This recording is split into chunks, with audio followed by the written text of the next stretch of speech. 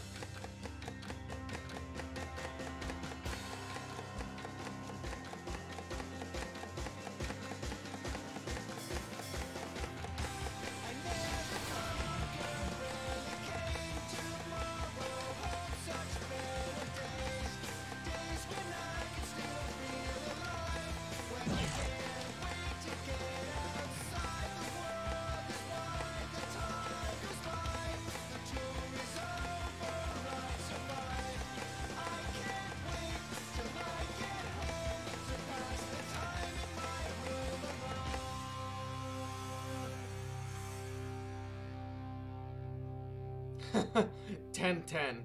That's how many notes there were in the song. I love that. yeah, the song itself is like, I don't know, just one of those boring ones. It doesn't interest me.